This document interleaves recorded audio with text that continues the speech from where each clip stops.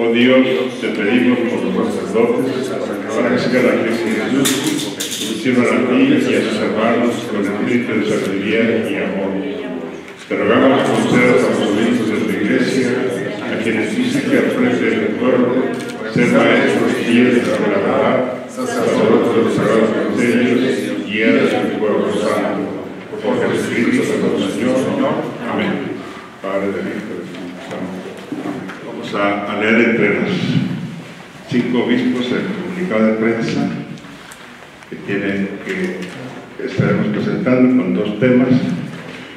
El encuentro de 2020 de condiciones y dimensiones del pastoral de la provincia de Morelia y el acuerdo educativo un gran legado. Empiezo yo leyendo, lo vamos pasando a los demás obispos.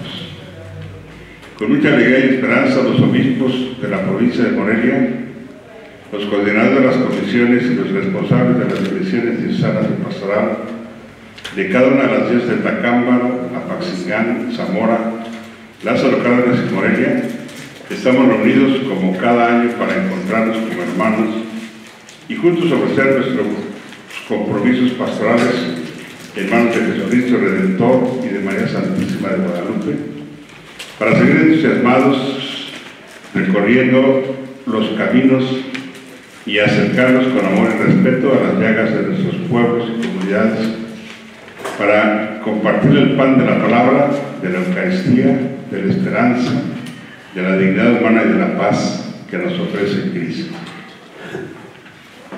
El objetivo de este encuentro provincial es iluminar la realidad pastoral de nuestra provincia desde el proyecto global de pastoral para que las comisiones y dimensiones ofrezcan propuestas subsidiarias que respondan a los desafíos querigmático-místico, comunitario sinodal y ético-moral.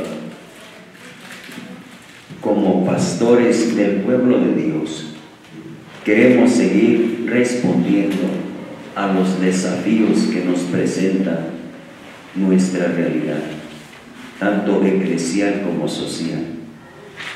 Seguimos haciendo nuestras las angustias, que son muchas, de nuestros pueblos y comunidades, que sigue sufriendo violencia, en parte se incrementa, inseguridad, inequidad, incertidumbre política, deterioro ambiental y desigualdad social. Al mismo tiempo nos alienta la esperanza de un cambio integral a partir de nuestra fe, de la familia y de una educación continua, no interrumpida, con valores humanos y cristianos. Esperamos que este encuentro provincial, al igual que a los discípulos de Maús, nos abra los ojos y el corazón para acompañar pastoralmente a nuestros pueblos y comunidades y sepamos afrontar los desafíos que tenemos como iglesia y como sociedad. Confiamos que todos, obispos, sacerdotes, religiosas y laicos, comprometidos con el plan diocesano de pastoral de cada una de nuestras diócesis, que asumiendo las acciones prioritarias nos empeñemos en responderlas para que nuestro esfuerzo pastoral seamos una expresión visible del amor de Dios en medio de nuestros estados de Michoacán, Guerrero y Guanajuato. Quiero en este contexto de la provincia de Morelia, la presencia de los cinco obispos que presidimos, las cinco días que la formamos, informarles que en estos días se estarán hablando, se estarán abriendo 16 centros de escucha que están en las diferentes diócesis para seguir atendiendo a las víctimas como se les está informando oportunamente. y también están en proceso de abrirse en los siguientes días nueve centros de rehabilitación y atención a personas adictas. También estará abriéndose por lo menos un centro en cada una de las diócesis y es parte de este esfuerzo que hemos venido realizando como Iglesia Católica ya en una relación más directa con las autoridades, todo con el gobierno del Estado de Michoacán y con la sociedad civil, sobre todo con eh, con la red Justo Michoacán y el Consejo Interreligioso. En este esfuerzo estamos ya dentro del camino que se ha venido recorriendo en, la preparación para la constitución del Consejo Michoacano para la Paz, que esperamos que oficialmente se haga de conocimiento de todos el 15 de marzo y con la participación ya de ese grupo impulsor y, la Secretaría Técnica que han venido trabajando para poder implementar esto que ya es un cumplimiento del compromiso anticipado del Consejo Michoacán para la Paz en relación a los 20 centros de rehabilitación de adicciones los 40 centros de escucha que se han anunciado se espera implementar durante el año 2020, además del plan de educación para la paz. Acuerdo educativo, un gran legado. Con mucha alegría conocimos en la semana una buena noticia para nuestro estado de Michoacán y sobre todo para nuestros niños y niñas y su derecho a la educación. Nos referimos al nuevo acuerdo educativo que firmaron tanto el gobernador Silvano Aureoles y representantes del gobierno de la República. Por lo cual, la Iglesia se congratula de que se haya podido concretar. Reconocemos en ello el esfuerzo del señor gobernador, porque es un logro de dimensiones extraordinarias para Michoacán. Es un esfuerzo que requirió de la voluntad de todas las partes, pero reconocemos la perseverancia y tenacidad del gobernador del Estado, que fueron claves para lograrlo. Es un legado porque resuelve un problema estructural histórico cuyo impacto más importante es la educación de las niñas y niños. Los maestros ya no tendrán que salir a las calles a manifestarse por la banda de pagos, lo cual también es importante porque se garantiza la continuidad de las clases en las escuelas. Por todo ello, la Iglesia se suma al reconocimiento a nuestras autoridades en el estado de Michoacán por este paso histórico que se ha dado. Hacemos una invitación a todos, a los padres de familia, a los maestros, instituciones civiles y toda la sociedad a tomar conciencia que la educación de los hijos, alumnos y de todos los jóvenes debe estar fortalecida con el ejemplo, los valores, principios, buenos modales y actitudes positivas que les permitan a los jóvenes y a los niños responder a los retos actuales de nuestra sociedad. Buenos días. Carlos, gracias. Preguntarle, bueno, comentar que en los próximos días ya estarían abriendo los 16 centros de escucha y 9 centros de rehabilitación. Preguntarle específicamente eh, próximos días en cuándo estaríamos hablando, un poquito el término. Estamos hablando ya de Estamos hablando entra. en el transcurso del mes de febrero, antes de que se dé formalmente el anuncio de, de- de la constitución ya del Consejo. De hecho, como se nos había platicado, se ha estado trabajando en esto. Hoy mismo estamos en un taller de, de avance para definir con toda claridad la Constitución y las funciones internas y externas del Consejo. Y también para ir perfilando la forma de operación, ya en este compromiso asumido de antemano de construcción de paz. Este, abundando esta misma pregunta, no sé con estos centros, ¿cuál es la meta que se quiera este, alcanzar, o sea, de cuántas personas este, son las que pueden atender en estos centros y actualmente cuáles, cuántas son las personas que están atendiendo en los centros que ya hay. Bueno, el, el venir preparando personas para atender sus centros ha sido el esfuerzo que se ha tenido más directo. Estamos hablando de unas 300 de 400 personas que se han estado preparando en diferentes formas, con diferentes talleres de capacitación.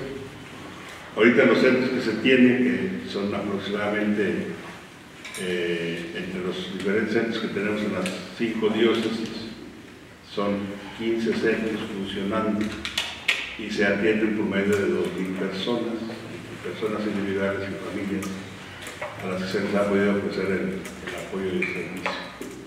En los centros de atención a adicciones son tres centros los que están ahorita operando y se ha atendido por medio de 80 a 90 personas en el lapso de 8 o 9 meses que han estado operando. Eh, ¿Van a funcionar estos, ¿Perdón? van a operar estos centros con apoyo netamente de la iglesia, esfuerzos también de la sociedad civil, cómo participar el gobierno también en este tema? Porque bueno, para todos ocupa dinero. Bueno, ya, ya lo platicamos en la ocasión anterior que hablamos del tema. Ahorita se está teniendo la coordinación del equipo impulsor entre el gobierno del Estado a través del secretario de gobierno, entre la sociedad civil a través de Fusilín y entre la Iglesia Católica y las demás iglesias a través de la Iglesia Católica con mi representación. En este momento se ha estado haciendo la gestión de un recurso que el gobierno del Estado ha, ha gestionado para hacer este proceso de capacitación y de equipamiento de estos centros que se están anunciando. Y ya los habíamos anunciado hace unos 15 días que hablamos del tema. Hoy lo estamos hablando ya como algo inmediato, que ya va a a,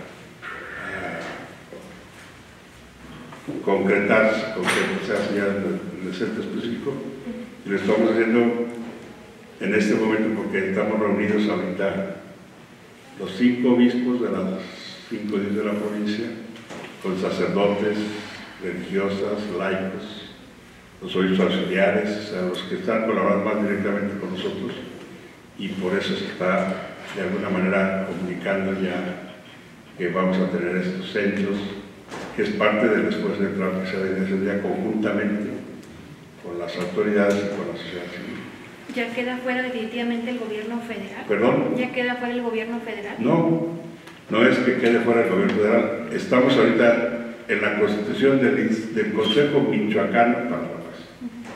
Con el gobierno federal estamos haciendo los diálogos pertinentes. De hecho, la próxima semana retomaremos el diálogo con el gobierno federal y ya les informaremos de lo que corresponda. Pero con el gobierno federal se lleva otra dinámica. El gobierno federal está está enterado de esto que estamos haciendo. También están participando en la aportación directa cuando ellos lo quieren asumir.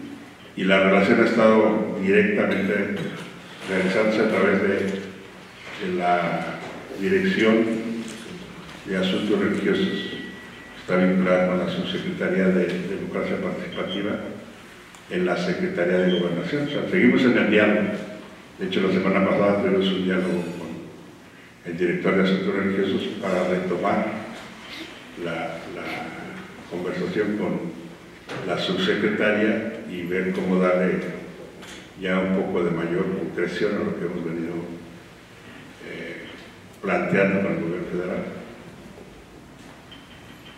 ¿Usted mismo o algún otro ¿Perdón? ¿Usted mismo o algún otro obispo que quisiera pues comentarnos el contexto eh, de por qué es que es necesario que se instrumenten estas medidas de fomento a la paz, cómo están sus regiones, qué tan preocupante es esta pues, alzada de, de sucesos violentos. Sí, algunos hermanos oyentes quieren decir una palabra. Bueno, yo creo que hoy todo el mundo necesita ser escuchado, eh, desde los adolescentes, los jóvenes, eh, los matrimonios, la mujer, eh, Y los centros de escucha pretenden ser eso, dar atención, escuchar a todas las personas que tengan un problema eh, violento desde su familia hasta problemas de violencia de gran impacto. Eh, Desde luego que es una tarea de caridad social que implica esfuerzo. Eh, Por eso no es fácil inmediatamente poner a trabajar estos centros de escucha, sobre todo en lugares en donde no tenemos tantos recursos como en la diócesis de Ciudad Lázaro Cárdenas, que comprende, además del puerto, toda la costa michoacana, y con eh, el municipio de Arteaga, por ejemplo. Eh, entonces, pues estamos trabajando eh, con los eh, recursos apoyo del gobierno, pero también pues con los recursos de las mismas personas para que esto eh, lo valoremos y seamos más responsables y, logren ser eh, instituciones, centros eh, autosustentables, a donde la misma gente los valore y los promueva y la gente atendida a su, a su vez sea promotora de escucha y de paz en todos aspectos. Esto es lo que estamos tratando de hacer concretamente en mi diócesis. Por ejemplo, que nos expliquen también este, en cuáles de las ustedes tienen, no sé, en dónde hay más atención o dónde se atienden a más personas o donde realmente hay más necesidad de que estos centros pues estén operando de una forma a lo mejor pues más fuerte por la violencia en la que se está viviendo. ¿Quién? Palabra. Creo que eventos de violencia tenemos a diario y de distinta magnitud. Y pienso que si hay, como mi diócesis, esto que proporcionalmente parecería una respuesta insignificante porque la magnitud del problema es enorme, pero sí tenemos en Zamora ya funcionando eh, un centro de escucha en Vista Hermosa, otro en Zamora, otro en San Juan Nuevo, a donde acude la gente a plantear su situación, a recibir alguna orientación. Y creo que con esto estamos contribuyendo en, esta medida a la paz. Mm, Yo creo que aunque no haya mm, este recurso de los centros de escucha en todas las parroquias, en Zamora son 136 parroquias, pues hay esta actitud no solo de sacerdotes, sino de gente involucrada en la acción pastoral, de poder brindar consuelo, apoyo, hacer sentir a la gente que no está sola ante la desaparición de un ser querido. Y yo creo que el acompañamiento en su casa, la plegaria, eh, el compartir algún bien material, porque se usa mucho también, algún bien material, cuando alguien le fue arrebatado el jefe de la casa, o el hermano mayor que era el que aportaba recursos, o también, a veces por muerte natural de los miembros, hay esta solidaridad en el mundo indígena, tengo unas 17 comunidades indígenas, muchas, y también en el mundo no indígena. Creo que son actitudes estas, de cercanía, de fraternidad, mm, para, para poder aliviar un poquito el dolor o también prevenir situaciones. En el presbiterio de Zamora, como en cada presbiterio, debe haber un WhatsApp de padres donde nos estamos informando sobre ciertos riesgos de violencia para alertar a la gente o para no pasar por ahí o para tomar precauciones. Hemos tenido los últimos dos meses, de diciembre para acá, eventos fuertes de violencia, de, encuentros de grupos contrarios en Cotija, por ejemplo, y el que un poco estemos previendo el riesgo para alertar a la gente es bueno. Ante alguna situación, como en Los Reyes se dio, creo que fue en noviembre, pues también acudir a la autoridad del Estado correspondiente de la seguridad para decirles que se ve el ambiente enrarecido, si nos aconsejan que vayan o no, que salgan o no los niños a clases, este tipo de cosas. Creo que también nos vemos involucrados y hay que estar, porque puede ser que si habla el obispo acá con los que se cargan de la seguridad estatal, pueden sí más rápido responderle como así ha sido y alguna orientación que nos den sobre, sobre decir luego a los directores de las escuelas si vayan o no los chicos a clase. Pasó en Los Reyes en, en el mes de noviembre, creo que fue bueno. Este tipo de cosas, de perder el riesgo para no meterte en el ambiente riesgoso o también de eh, acudir con quien ha tenido alguna situación dolorosa, con algún recurso material, con el apoyo espiritual, con la oración, con la escucha, aunque no haya centros establecidos, repito, en todas las parroquias. El obispo Sí, de. Apatzingán pudiera también darnos su opinión sobre el mismo tema. Muy bien, ¿quieres una palabra? Es otra región que está. Yo creo que en Apatzingán es donde mucha falta hace más centros de escucha y de atención a víctimas. Creo que en nuestra provincia allí, ahí iniciaron en Apatzingán, en Nueva Italia, pero yo veo necesidad de más centros de escucha porque en mi diócesis hay personas que no pueden ir de un municipio a otro por esta situación que se vive. Por ejemplo, en La Ruana, que mucho llenaría un centro, en Aguililla, en el Aguaje, poblaciones que han sido muy golpeadas por la violencia y lo siguen estando. Mucha por yo al ver el bien que estos pocos centros, para mí son pocos, pocos centros que tenemos, al ver el bien que hacen, yo desearía ahora que ya estuvieran funcionando otros, que harían mucho, mucho bien. Centro de atención, escucha y de atención a víctimas. Desde luego,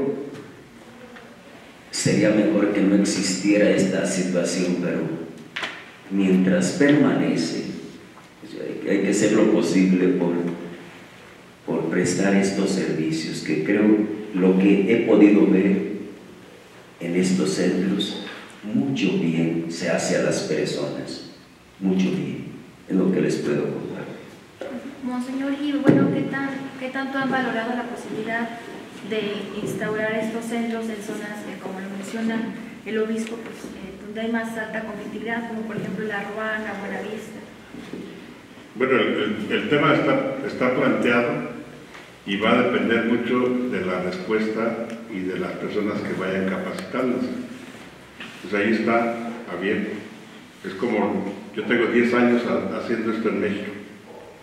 Tú preguntabas ahorita que si, este, a través de alguien más eh, se va a hacer diálogo con el gobierno federal. Yo lo, es, lo he asumido como parte de mi ministerio y ahorita con la encomienda concreta que me hace el episcopado y, y- lo estoy haciendo en, Acapulco, lo hice en las zonas más, más violentas de Acapulco, en los polígonos de la ciudad más, más. Y ahora estamos haciendo aquí en la provincia. A la medida que vayamos avanzando, que la gente se comprometa, que la gente se prepare, que tengamos las condiciones, se puedan ir abriendo los centros donde, donde, donde se requieren. Es parte de esta dinámica, si hablamos, tenemos una forma más inmediata un año y medio en este esfuerzo. Como provincia, yo desde que llegué hace tres años he estado empujando el tema y vamos a seguirlo buscando hacer llegar a donde más se requiera. ¿Por qué están surgiendo los centros de, atención a personas adictas? Pues por la situación de adicción. Ya donde informamos lo triste que es conocer la realidad de las escuelas primarias, de las escuelas secundarias. Están ya con una presencia de droga muy agresiva para con los adolescentes, hasta con los niños. Y el mismo tema de los suicidios.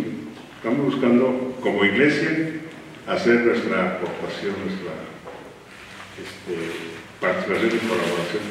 Si logramos hacerlo conjuntamente con la sociedad, con las autoridades, con todos los organismos e instituciones, podremos avanzar más y poder ofrecer pues, lo que está en nuestro alcance. Una última pregunta. Nada más quiero recordar actualmente cuántos son los centros de escucha que hay. ¿Perdón? Que me recordara cuántos centros de escucha hay. En este momento están funcionando 15 centros de escucha. Están funcionando, si no me recuerdo mal, dos en la Paxicán, en, en, en Italia y en la Paxicán mismo. Están funcionando cuatro en Zamora, los que ya mencionábamos, señor, en, en Zamora mismo, en San Juan, San Juan, Vistahermosa. Y está por haberse en Uruapan.